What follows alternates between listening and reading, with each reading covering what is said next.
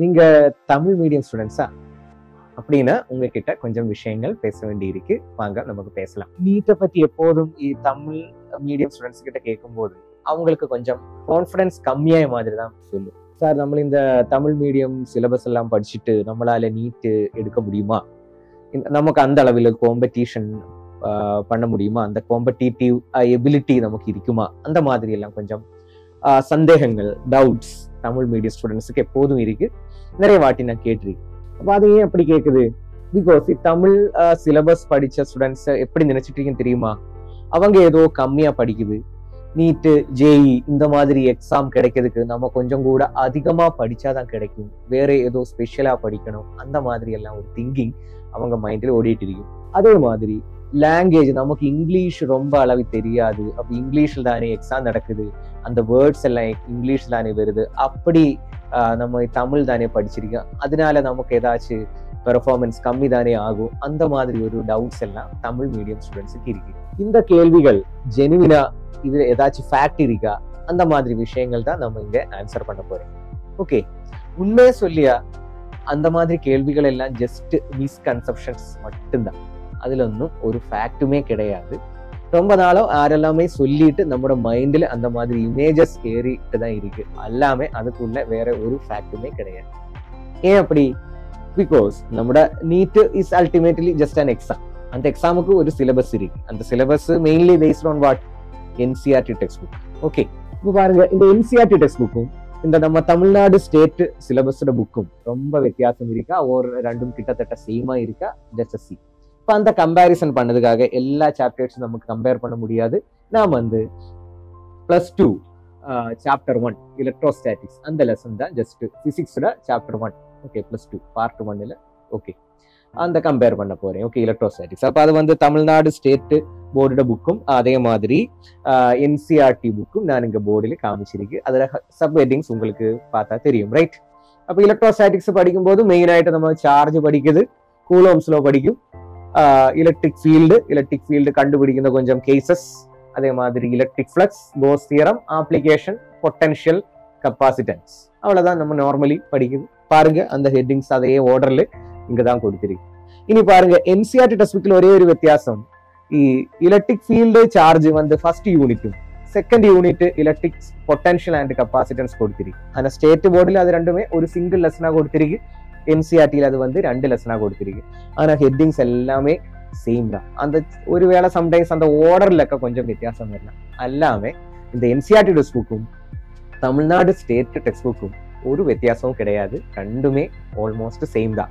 Actually NCERT text புக்கினை base பண்ணி தான் സ്റ്റേറ്റ് ബോർഡ് സിലബസ് ഡിസൈൻ பண்ணிருக்கு വൺ മോർ പോയിന്റ് നമ്മുടെ സ്റ്റേറ്റ് ബോർഡ് ടെക്സ്റ്റ് ബുക്കിന് എൻസിആർടി കൂടെ കൊഞ്ചം നിറയെ കൊഞ്ചമല്ല നിറയെ അഡ്വാൻറ്റേജസ് കൂടി ഇരിക്കും இந்த பெடகோகிக்கல் ஸ்டாண்டர்ட்ஸ் அந்த educational standards and of this Tamil Nadu state book ரொம்ப சூப்பராக தான் இருக்கு ரொம்ப சூப்பராக மீன்ஸ் ஒரு டீச்சரோட பாயிண்ட் ஆஃப் வியூலும் ஒரு ஸ்டூடெண்டோட பாயிண்ட் ஆஃப் வியூலும் அது ரொம்ப அண்டர்ஸ்டாண்டபிளாக தான் டிசைன் பண்ணியிருக்கு அதில் சென்டென்ஸ் அந்த ஸ்ட்ரக்சரிங் டயக்ராம்ஸ் எக்ஸ்பிளனேஷன்ஸ் ஆப்ளிகேஷன்ஸ் அது எல்லாமே ரொம்ப தெளிவாக தான் பண்ணியிருக்கு ஓரளவுக்கு என்சிஆர்டியோட மேலே தான் தமிழ்நாடு ஸ்டேட் புக் நிற்குது அது இல்லை இந்த தமிழ்நாடு ஸ்டேட் புக்கில் இந்த சாப்டரை பற்றி ஸ்பெசிஃபிக்காக சொல்லும்போது கொஞ்சம் எக்ஸாம்பிள்ஸ் எல்லாமே சோல்வட் எக்ஸசைஸ் எல்லாமே கொடுத்துருக்கீங்க.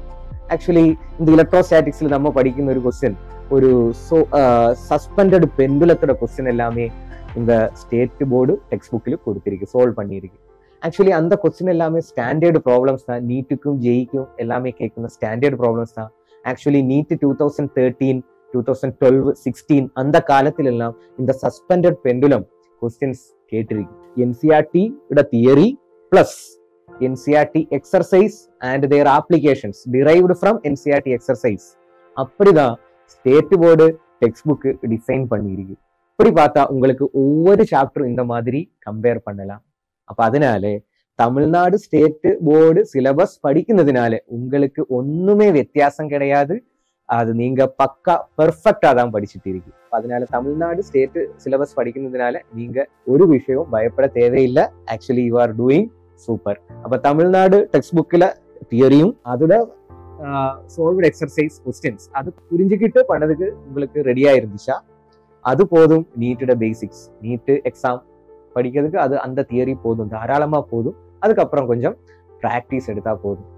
ஓகே இனி அடுத்த கேள்வி. இந்த லாங்குவேஜ் ப்ராப்ளம் தான் ஓகே நிறைய ஸ்டூடெண்ட்ஸ் கேட்குற ஒரு ப்ராப்ளம் நம்ம தமிழ்நாடு அஹ், தமிழ் மீடியம் டெக்ஸ்ட் தான் படிச்சிருக்கு அதனால ஆஹ், இந்த நீட்டுக்கு வரும்போது ஆஹ், பயிற்சி மையங்களிலும் அதே மாதிரி ஆன்லைன் கிளாஸஸும் அதே மாதிரி டெக்ஸ்ட் புக் எல்லாமே இங்கிலீஷ் தான் கொடுத்திருக்கும் அப்ப அது நமக்கு ரீட் பண்ணி புரியறதுக்கு ரொம்ப கஷ்டமா இருக்கு அந்த மாதிரி ஒரு இது இருக்கு ஆக்சுவலி சயின்ஸை பொறுத்த வரைக்கும் language is not a factor understanding தான் ஃபேக்ட் ஓகே அப்ப சயின்ஸுக்கு லாங்குவேஜ் கிடையாது മീൻസ് ഒരു യൂണിവേഴ്സലി നമുക്ക് സയൻസിൻ്റെ ലാംഗ്വേജ് ഏത് ഇംഗ്ലീഷ് தான். அப்போ இங்கிலீஷ் தான் அந்த டெக்னிக்கல் டேர்ம்ஸ் எல்லாம் வரும். அப்போ நீங்கள் பக்கா தமிழ் மீடியம் தமிழ் ലാംഗ്വേജിൽ പഠിക്കുന്ന സ്റ്റുഡൻസ് വന്ന് ഒരു വിഷയം പഠിക്കാൻ പോകും இந்த தமிழில் நீங்கள் படித்த டெக்னிக்கல் டேர்ம்ஸ் இல்லையா? ஃபிசிக்ஸ் கெமிஸ்ட்ரி அண்ட் பயாலஜி அந்த technical terms corresponding English words ஒரு லிஸ்ட் அவுட் பண்ணி வைங்க. அந்த லிஸ்ட் ஒன்று ரெண்டு வாட்டி மனப்பாடம் பண்ணுங்க. அது கிளியர் ஆயிடும். ஃபார் எக்ஸாம்பிள் இப்போ நம்ம ஃபிசிக்ஸ் படிக்கும்போது எப்போதும் யூஸ் பண்ணுன வேர்ட்ஸ் தான் வெலாசிட்டி ஆக்சிலேஷன் கைனட்டிக் எனர்ஜி இந்த மாதிரி ஓகே இப்போ வெலாசிட்டி தமிழ் ஈக்குவலண்ட் உங்களுக்கு திசை வேகம்னு சொல்லியா தெரியும் அப்போ திசை வேகம் மீன்ஸ் வெலாசிட்டி அதை அப்படியே படிச்சு வைங்க ஆக்சிலேஷன் முடுக்கம் அது கைனட்டிக் எனர்ஜி இயக்காற்றல் அந்த மாதிரி நம்ம கரஸ்பாண்டிங் வேர்ட்ஸ் லிஸ்ட் பண்ணுங்க அப்போ ஆக்சுவலி ஒரு நீட் டுவெண்ட்டி ஃபோருக்கு ப்ரிப்பேர் பண்ணதுக்கு முன்னாடி ஒரு ப்ரிகாஷனரி மெஷர் ஒரு இனிஷியல் ஸ்டேஜஸில் நமக்கு கொஞ்சம் நம்மளை கொஞ்சம் ரெடி பண்ண வேண்டி இருக்கு அந்த இனிஷியல் ஸ்டேஜ் ஆஃப் ப்ரிப்பரேஷன் இந்த மாதிரி விஷயங்கள் எல்லாம் பண்ணி வச்சா உங்களுக்கு எந்த டெக்ஸ்ட் புக்கும் எடுத்து ரீட் பண்ணலாம் அது புரியும். எந்த கிளாஸும் அட்டன் பண்ணலாம் எந்த பயிற்சி மையத்திலும் உங்களுக்கு கிளாஸஸ் ஈஸியாக அட்டன் பண்ணலாம். லாங்குவேஜை பற்றி யோசி நீங்கள் ரொம்ப கவலைப்பட தேவையில்லை. அதை ஆக்சுவலி அந்த கொஸ்டின்ஸ் ஒன்றுமே ஜெனுவினிட்டி கிடையாது. ஓகே எல்லாம் இப்படி வாய் பேசி வாய் பேசி இப்படி கேட்டுட்டே நம்ம இருக்கு.